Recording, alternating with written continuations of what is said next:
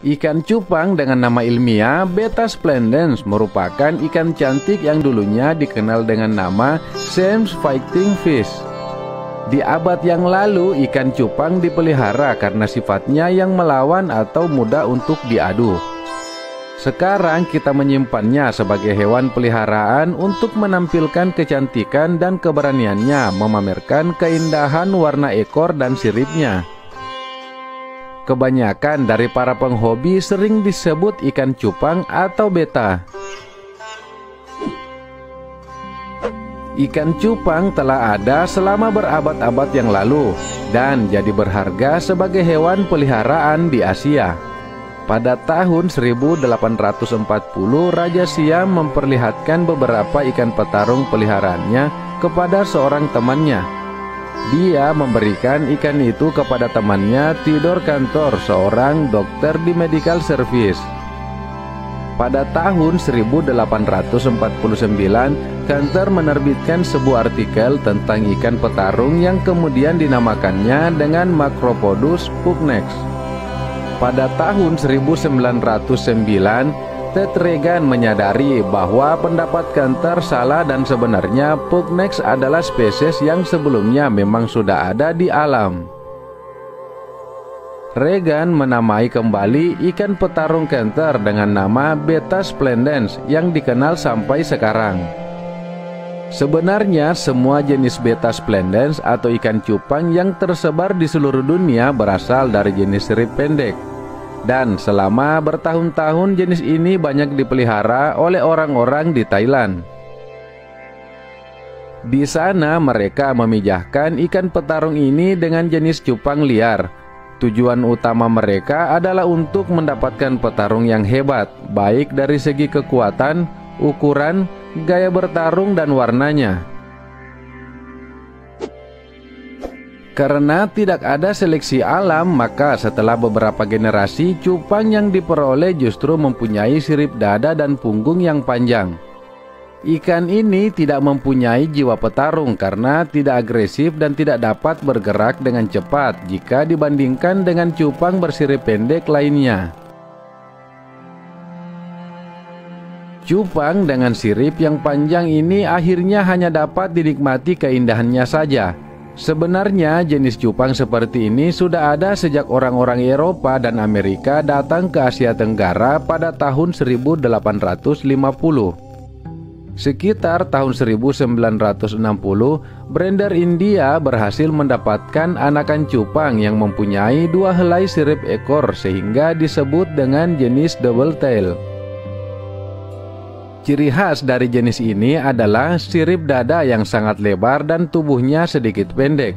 Karena ingin menghilangkan ciri-ciri ini, maka mereka menyilangkan cupang double tail dengan jenis sirip tunggal.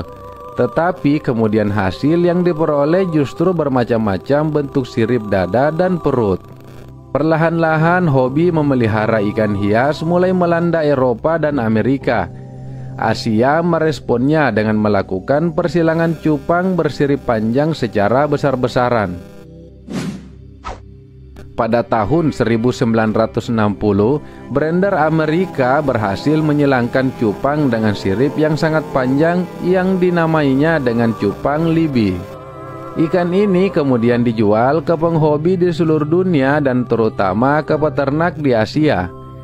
Pada saat yang sama, brander Jerman menyilangkan cupang jenis Delta Tail yang pertama. Jenis ini mempunyai ekor berbentuk segitiga yang simetris. Maka pada tahun 1967 didirikan IBC atau International Beta Congress. Tujuan IBC adalah untuk menyilangkan cupang yang mempunyai sirip yang lebar dan simetris. 5-10 tahun belakangan ini berbagai jenis ikan dengan sirip yang beraneka ragam mulai ditemukan. Brander Indonesia Ahmad Yusuf menemukan jenis serit. Jenis ini mempunyai ciri khas tulang siripnya tumbuh melampaui sirip. Oleh karena itu penampilannya seperti sisir sehingga ikan ini juga disebut dengan jenis comtail. Perubahan terjadi pada tahun 1970. Saat itu importir memperkenalkan jenis cupang baru. Ada yang ekor pendek yang sekarang kita sebut dengan ikan cupang aduan, cupang laga, ataupun cupang fighter. Ada juga yang memiliki ekor panjang yang dulu kita kenal dengan cupang jenis layer. Nah, itulah sejarah ikan cupang atau beta.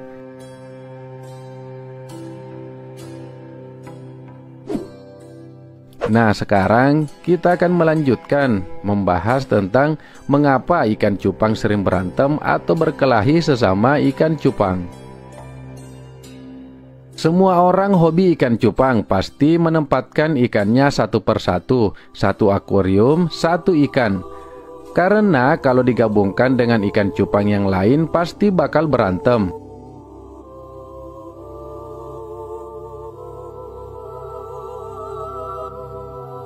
Ikan cupang merupakan hewan teritorial, hewan yang menandai dan menguasai wilayahnya.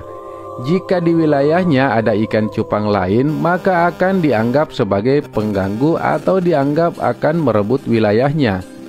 Ini berlaku untuk semua jenis ikan cupang, entah itu cupang aduan, cupang hias maupun cupang alam. Ada beberapa ikan yang ingin mendominasi akuarium. Hal ini terjadi jika ikan kekurangan makanan. Jika makanan terpenuhi, ikan relatif lebih tenang.